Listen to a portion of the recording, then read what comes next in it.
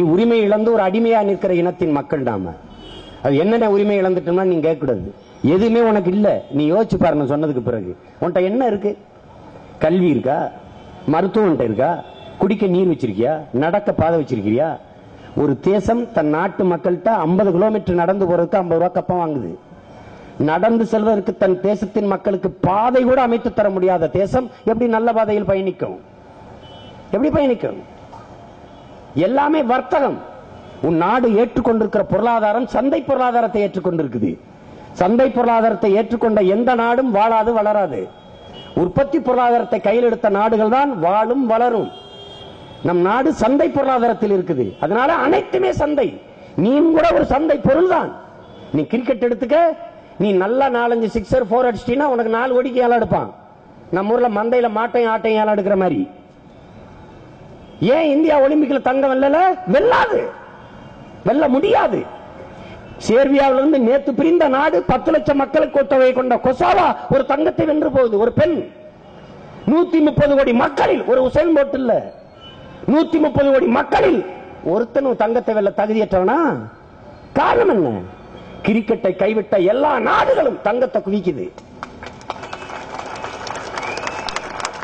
இதெல்லாம் நீ நீ வேணா எண்ணி பார்த்துக்க. அமெரிக்கா கிரிக்கெட் இல்ல. ரஷ்யா கிரிக்கெட் இல்ல. சீனா கிரிக்கெட் இல்ல. இது மூணு தான் முதலிடத்துல இருக்குது. ஜமைக்கா கிரிக்கெட் இல்ல. கிரிக்கெட்டை வைத்திருக்கிற எல்லா நாடும் வெங்கலம் வெள்ளிக்கே பல்லளிக்குது. அதுல இந்தியா ரெண்டு ரெண்டு பதக்கம் ரெண்டும் பெண்கள் பெற்றுக் கொடுத்தது. மானங்கட்டதனா? மானங்கட்டதனா? ஓட ஆள்லையா வா என்னோட காலையில ஒய்எம்சியில வந்து பாரு. மாபெரும் வீரர்கள் ஓடுறான். ஒவ்வொருத்தரும் உசேன் பல்ட்டா ஓடுறான். எடுக்க ஆள் இல்ல. ஏன்? கேடுகட்ட சாதி கேவலங்கட்ட மதம்.